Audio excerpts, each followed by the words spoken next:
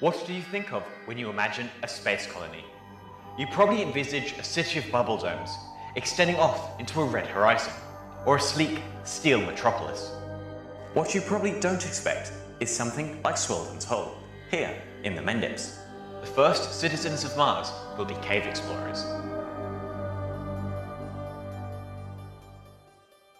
So why don't we want to live on the surface? Here are two chocolate chip cookies that I've baked to go caving.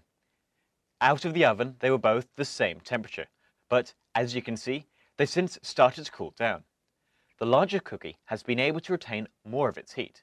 Inside, it's still gooey. These cookies are just like Earth and Mars. When the solar system formed, they were both molten, but over the eons, they've since cooled down. The much larger Earth still has its gooey, molten core, which gives us a protective magnetic field. Mars's core cooled faster, just like the smaller cookie. With no molten core to produce a magnetic field, Mars is defenseless against the nasties of space. Solar flares and galactic cosmic rays can pass through your spacesuit and permanently damage cells and DNA. In order to avoid this radiation, we need some form of shielding, such as in the form of several meters of rock.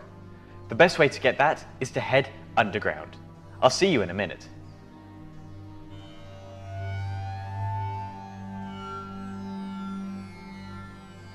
Since we took our first close-up picture of the planet in the 1960s, we've known that Mars has a network of tunnels extending beneath the surface.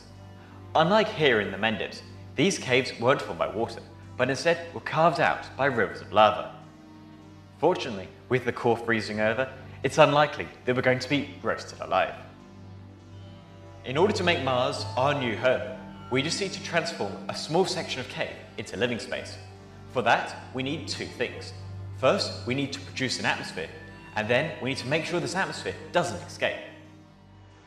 Making an atmosphere isn't super difficult. Mars hasn't had liquid water in millions of years, but around the equatorial regions, there are permanent deposits of ice. That's useful as a potential drinking supply, but with a little electricity, we can make something even better. These two wires are connected to a DC power supply. They are then submerged into this tank of water. As you can see, the electricity rips apart the water molecules into two constituent gases.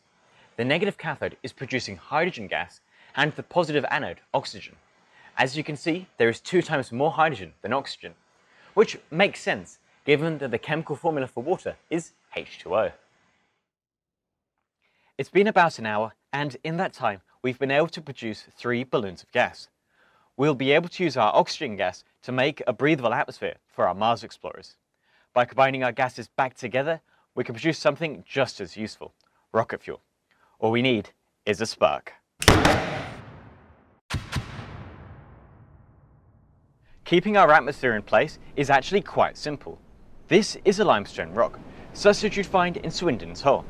As you can see, cracks along the surface make it easy for air to escape. Fortunately, our Martian caves don't have that problem.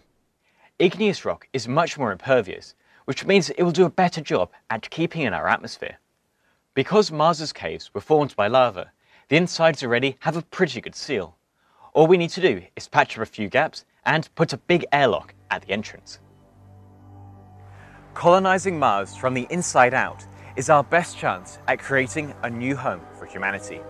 But with whom are we going to share this new frontier? Join us next episode as we descend further into the caves of Mars. Until then, this has been James Dingley from the Atomic Frontier. Keep looking up.